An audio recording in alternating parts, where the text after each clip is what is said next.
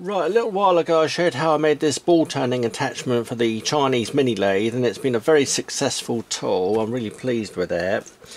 And in that video I showed these mandrels here for holding the um, bar to actually turn the ball and several people have been asking me where I got these. I did actually make them but today I'd just like to show you how to uh, make a quick and easy mandrel rather than having to turn down a piece of bar like this and then um, die cut the end here or screw cut the end. I found a much easier method, simple to do and you can make it out of mild steel, aluminium or stainless steel. I'm going to show you how to make it out of stainless steel and it's very quick to do. Um, before I do that, I'd just like to show you these new tools here I've got, and I'm going to be using these tools to actually make this um, mandrel. So firstly, I've got this new set of metric drills in this nice box, all numbered up. I used to keep my drills in a box, just thrown in a box, and they get dirty like that. And also, um, you're forever looking through the box, and if you can't read the size on the side, you have to measure them up with a micrometer or whatever. I like having drill sets like this now in compartments where you can just look at the um, size, take it out, use it, and then put it back. And these are really nice quality HSS drills. I've used these before and they're um, brilliantly ground and cut perfectly and I'll be showing those in a minute in the workshop um, making this mandrel. Another thing about this mandrel is that um, the one that I previously made here um, with the die cut thread on the end here obviously over time the um, thread can wear out or um, you want to um, use it with a longer thread in to make the ball further out from this um, actual component here makes it much easier to turn. I've made this one with a um, thread stud in the end so you can actually change the thread.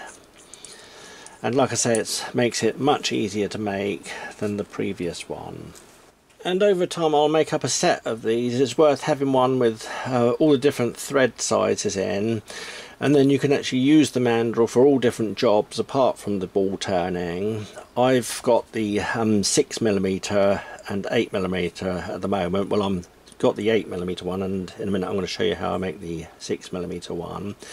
8mm is normally the size for most um, handle balls. Um, I've made this one here when you when you saw it last it just had this um, aluminium handle on. I thought it'd be nice to put a ball on each end and give it give it a bit more character. Plus it's also nice to operate now because you can just hold the balls like that and do the turning.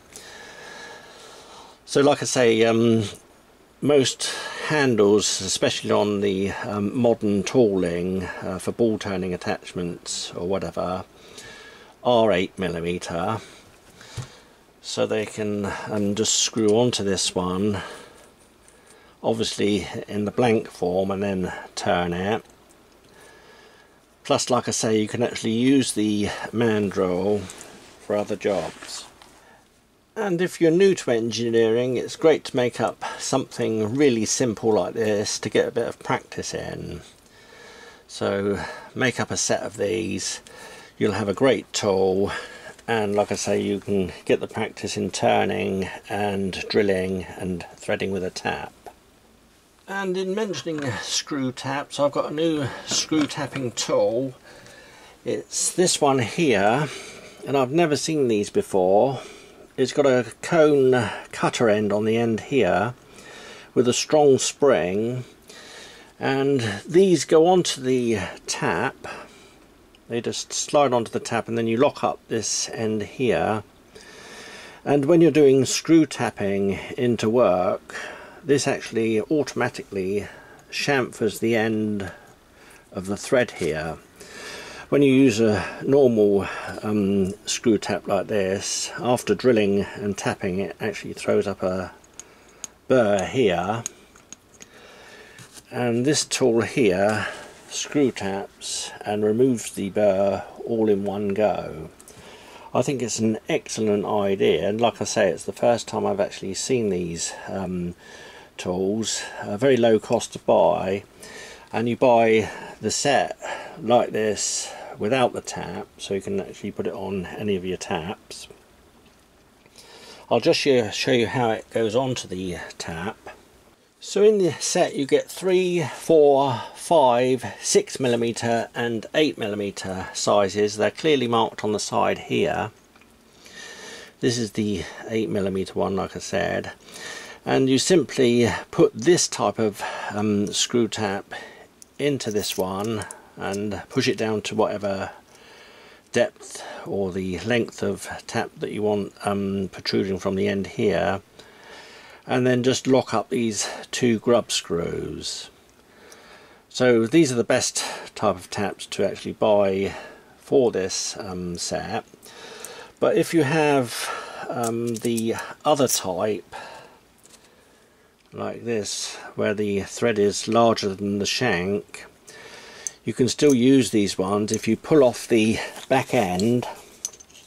It's quite tight, I'll just pull that one off and then you can put the screw tap in like that and then replace the end pushing it down into the spring and then locking up on the shank with the two um, Allen bolts. So in a moment I'll show you uh, one of these in use on the machine to make this mandrel. I've got this piece here and I've already um, screw tapped these holes here and you can see the, or I'll show the burr there on the edge there. Imagine that it wasn't screw tapped. Put the tap in your wrench there, tighten up and then wind the tap into the work.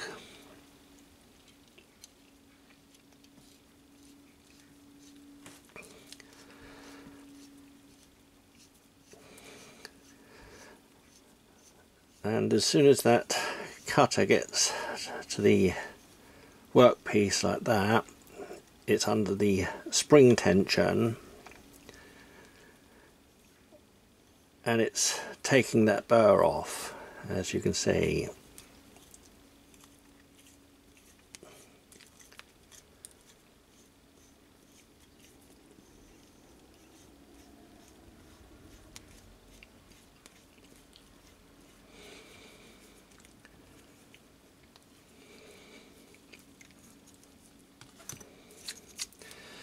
and you can see there the burr is gone now and it's put a nice little chamfer on the end of the thread there. And I think they're really excellent tools and if you do use the other taps where you have to put them in like I just showed um, you can't just push that collar into the spring um, as it's quite um, tight. All you do is hold the end here and twist it clockwise and it'll slightly open the spring and fall into place then and then you can actually lock these up.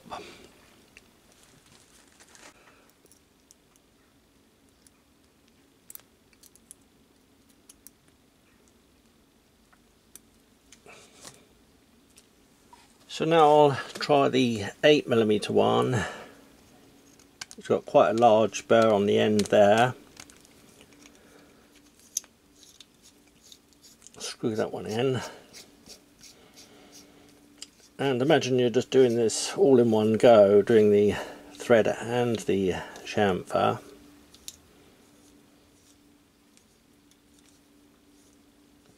It just pushes on the end face of that thread there and removes the burr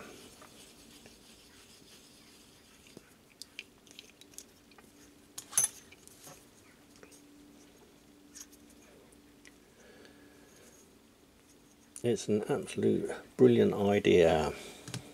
And I'll put the link below for both these sets, but now I'm going to go out to the workshop and try both the drill and this uh, tap and chamfer tool on making one of these mandrels. Right, for the 8mm one I used um, a 19mm diameter bar and I make them about 100mm long. And now I'm making the 6mm one, I'm going to make it 100mm long still but I'm using 16mm diameter bar and that's the smallest I'll go uh, for any uh, mandrel of this type um, because you want a nice size diameter to actually hold on. And this is 316 stainless steel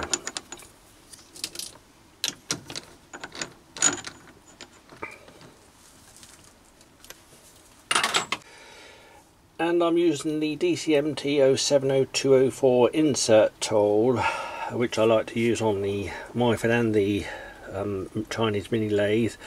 The actual shank for this one is the SD JCR 1010 H07.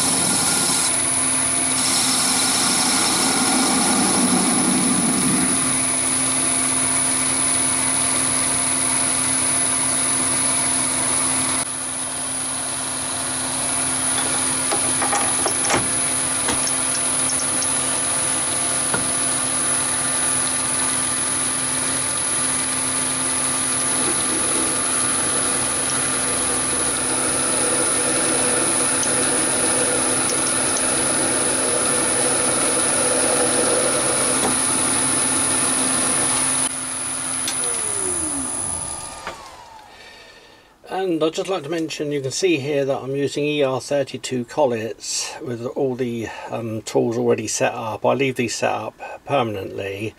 So I have the core diameter for the 6mm um, drill or 6mm thread and this is the 5mm drill.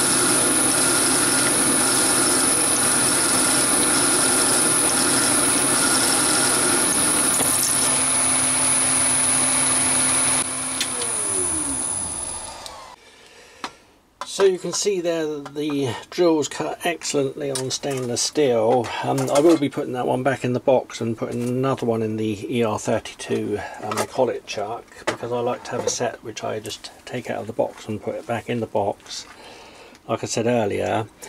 Um, having these ER32 uh, collet chucks set up like this not only makes it much quicker um, when machining but it also has a tighter grip on the drills and taps or whatever and stops them from spinning.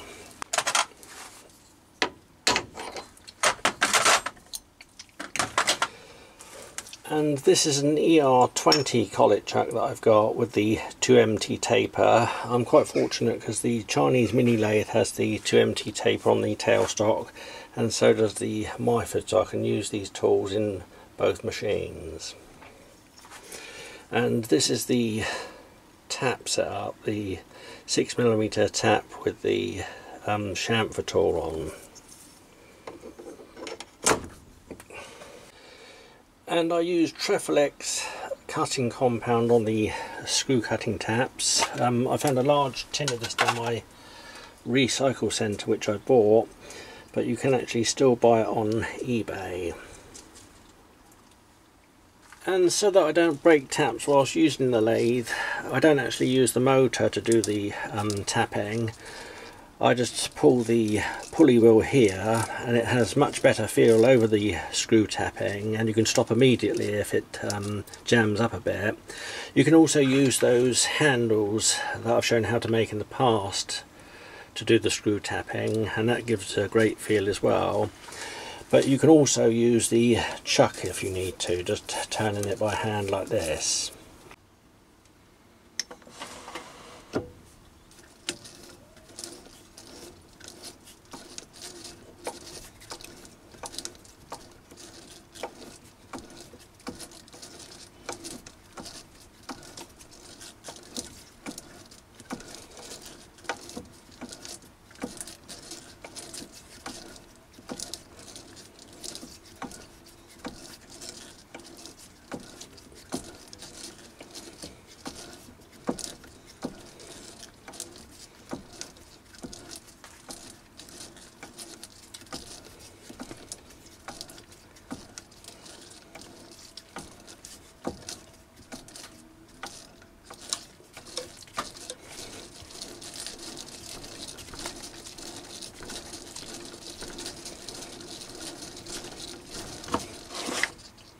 So that's the thread cutting done and the burr taken off the end all in one go is an absolute excellent tool even on stainless steel and saves a lot of time.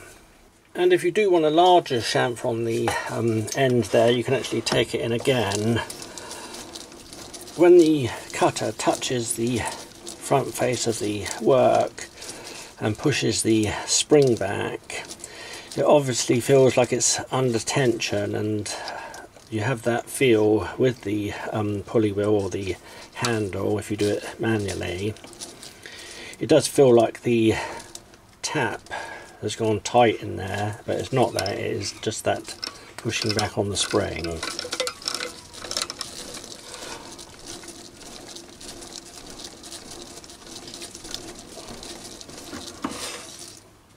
So then next I finish turn the end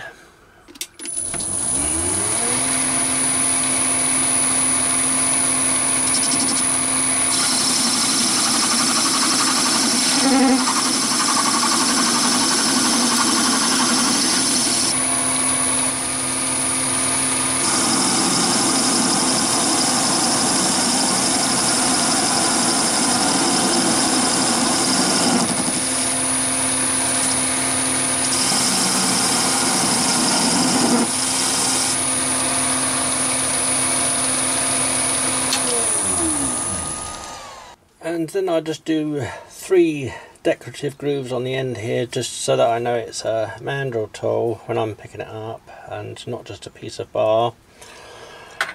And it also makes it look better. Plus I can use the same tool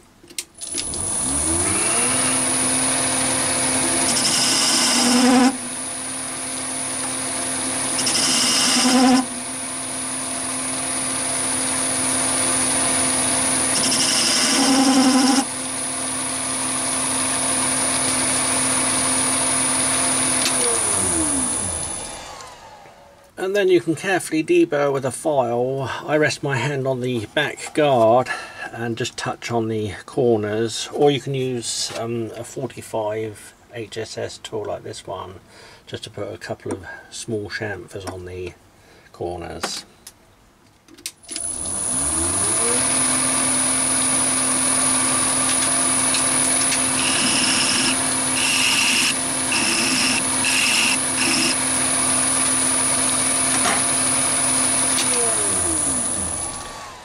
And then you can just use a long grub screw or cut off the end of a bolt a certain length of thread and just screw that one in the end.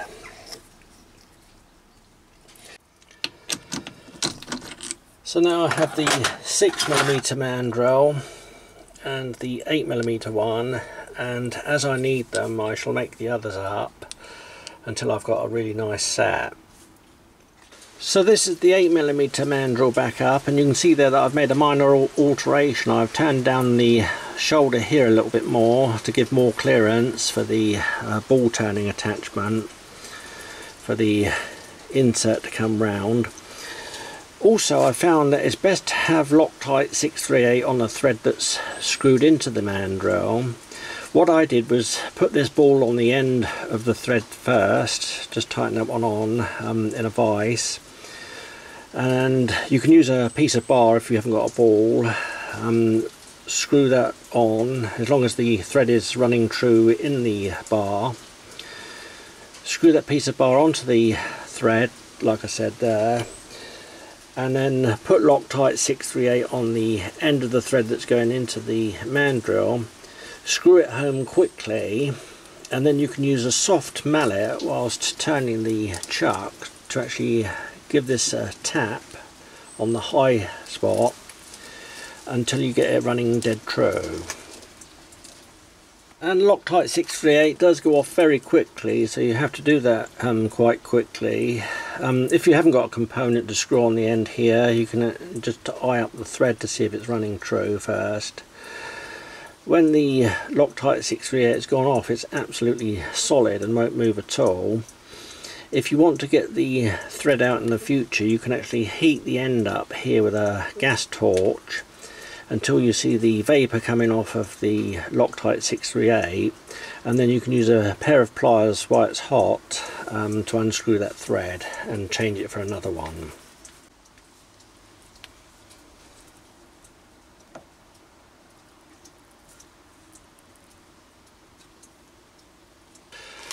Plus for this thread either use high tensile steel thread or stainless steel.